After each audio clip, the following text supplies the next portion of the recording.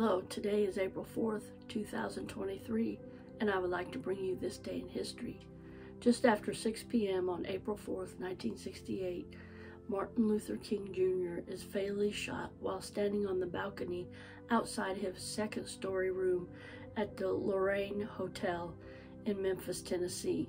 The civil rights leader was in Memphis to support a sanitation worker strike and was on his way to dinner when a bullet struck him in the jaw and severed his spinal cord. King was pronounced dead. After his arrival at Memphis Hospital, he was 39 years old. In the months before his assassination, Martin Luther King became, became intensively concerned with the problems of economic inequality in America. He, rec- he organized a Poor People's Campaign to focus on issues including a March on Washington, and in March 1968, traveled to Memphis, Memphis to support a poorly treated African American sanitation workers.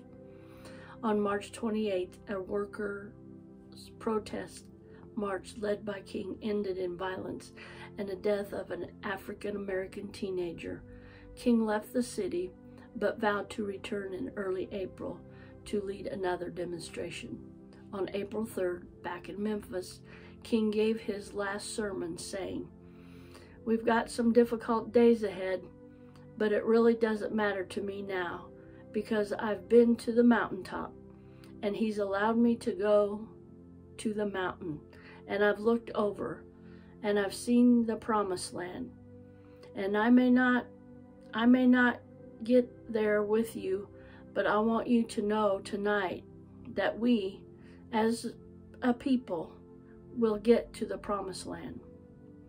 A day after speaking those words, Dr. King was shot and killed by a sniper. As word of the assassination spread, riots broke out in cities all across the United States, and the National Guard troops were deployed in Memphis and Washington, D.C. On April 9th, King was laid to rest in his hometown of Atlanta, Georgia. Tens of thousands of people lined the streets to pay tribute to King's casket as it passed by in a wooden frame cart drawn by two mules. The evening of King's murder, a Remington 30 uh, 6 I hope I'm saying that right, a fire hunting rifle was found on the sidewalk beside a rooming house one block from the Lorraine Hotel. During the next several weeks, the rifle, eyewitness reports, and fingerprints on the weapon all implicated one, a single suspect. And escaped escaped convict James Earl Ray a two-bit criminal, Ray escaped a Missouri prison in April 1967 while serving a sentence for a holdup. In May 1968, a massive manhunt for Ray began. The FBI eventually determined that he had obtained a Canadian passport under a false identity, which at the time was relatively easy. On June 8th, Scott, on June 8th, Scotland Yard investigators arrested Ray at the London airport.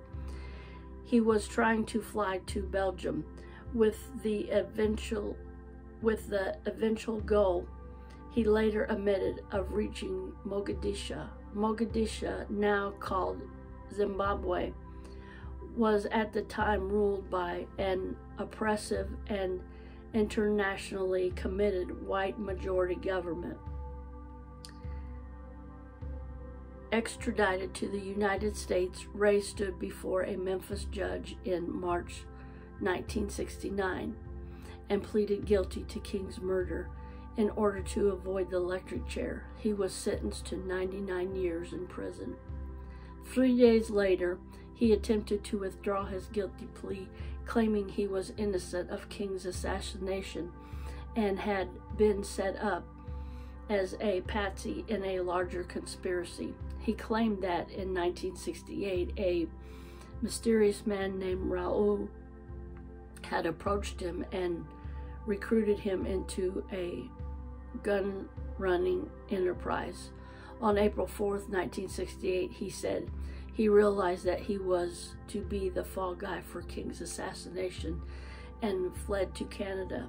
Ray's motion was denied and were as were his dozen other requests for a trial during the next 29 years.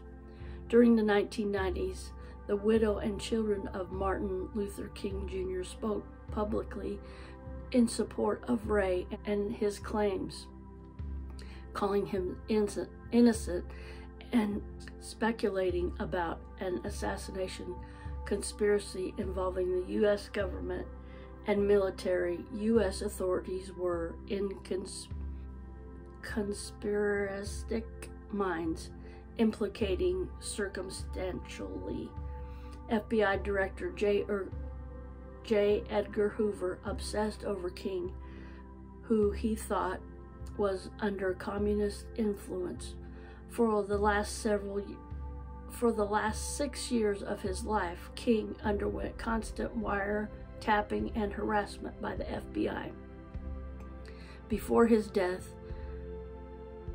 Dr. King was monitored by U.S. military intelligence, which may have been asked to watch King after he publicly denounced the Vietnam War in 1967.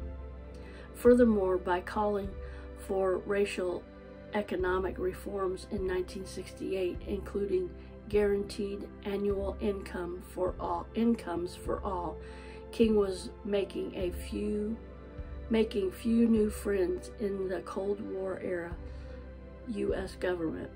Over the years, the assassination had been re examined by the House Select Committee on Assassinations, the Shelby County and Tennessee District Attorney's Office, and three times by the U.S. Justice Department.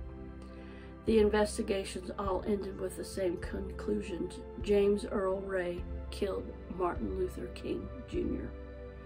The House committee acknowledged that a low level conspiracy might have existed involving one or more accomplices to Ray, but uncovered no evidence to definitely prove this theory. In addition to the mountain of evidence against him, such as his fingerprints on the murder weapon and his admit, admitted presence at the rooming house on April 4th, Ray had a definite motive to assassinate King hatred. According to his family and friends, he was an outspoken racist who informed them of his intent to kill Dr. Martin Luther King Jr. He died in 1998.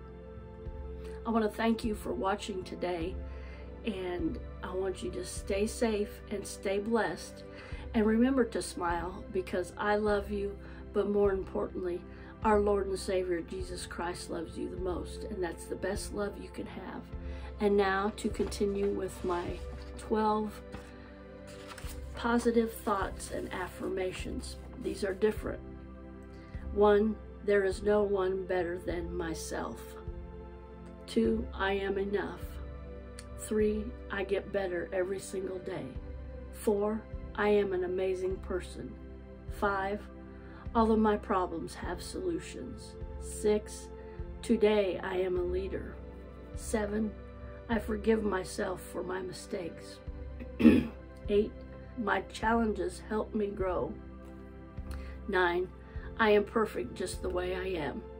Ten, my mistakes help me learn and grow. 11. Today is going to be a great day and 12, I have courage and confidence.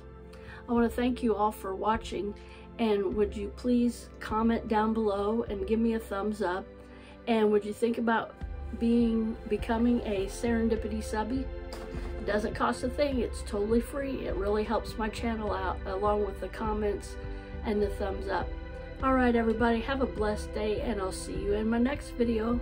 Bye everybody